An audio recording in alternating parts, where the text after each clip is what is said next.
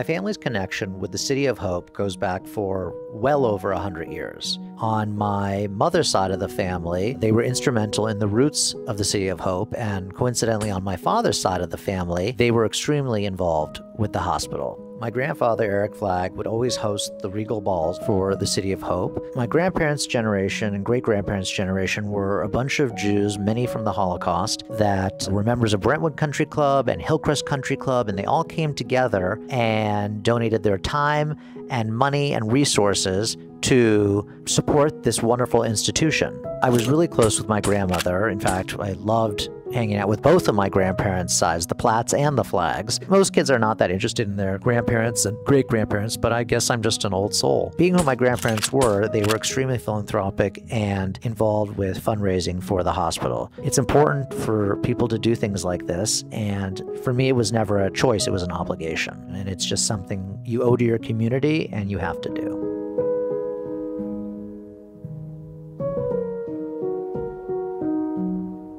This man, Ben Platt. He's quite a guy, as you all know. What I have to tell you, gentlemen, about our mutual friend, BP, at the age of 20, when he came over to America, he accepted a position with the Singer Sewing Machine Company. Bear in mind that at that time, our language was foreign to him, but despite that handicap, he did a phenomenal selling job. BP, who knows opportunity, he took on radio and he was merchandising and doing a big job while a lot of music stores stores were still holding their noses in the air. Greeby probably was the biggest selling radio in all of Southern California, and it was exclusively sold by the Platt Music Company. Ben had a habit of doing things in a big way. I have here several letters from the chairman, the directors, and others complimenting and thanking Ben Platt for his activities in the American Cancer Society. Ben Platt has been the treasurer of City of Hope. He was president of the Merchants, Manufacturers, and Professional Men's Club, which was a money raising group for the great City of Hope Hospital. He was on the campaign committee for a number of years of the American Cancer Society, and he never ceases. And he does it in the same casual but determined manner that he has demonstrated in his business itself. To see these ingenious, these hard-working businessmen joined with Ben Platt in first seeking to build a Sinai temple. And I believe that they gave to that activity all of the energy and all of the ingenuity that they gave to their respective businesses. And Ben Platt is the honorary life president. We have many great businessmen and we have many good men, but it's very difficult to find a combination of a great and a good man, and that's Ben Platt. So right now you're standing in front of our Helford Clinical Research Hospital. As you know, we started in 1913 focused on tuberculosis. And the idea was really to put a tuberculosis patient out in the dry, arid climate. So patients came from the East Coast to the West Coast. Particularly hit by tuberculosis was people who lived in like the tenement structures in the East Coast, a lot from New York and that area. And ultimately over the years, this term, you look a little cold. Maybe we should go inside. it's okay. Are you sure? We're good.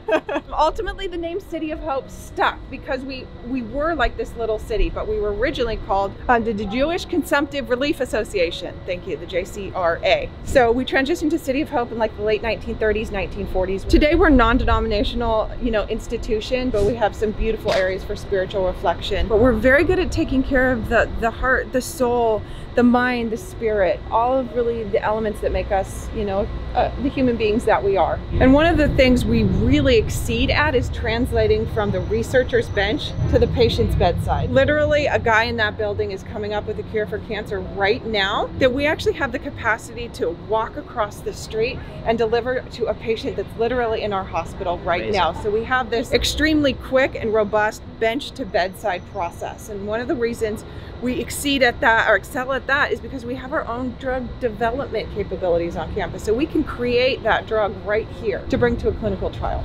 We really try and focus and make sure that, you know, each person is given a specialized, individualized care.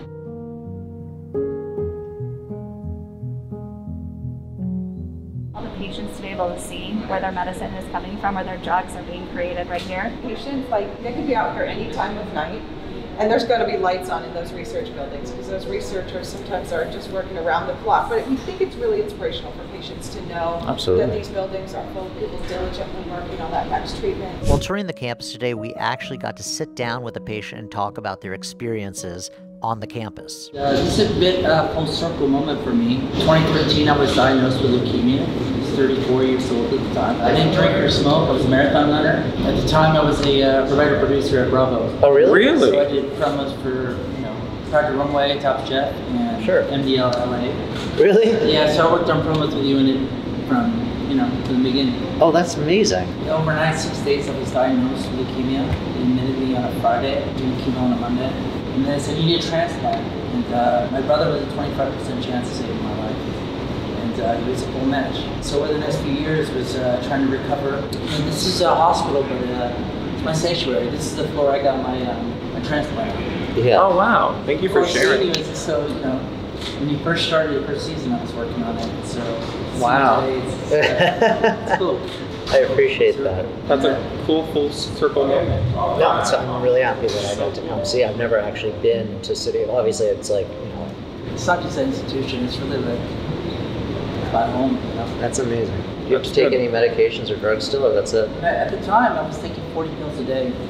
But today, is there One pill.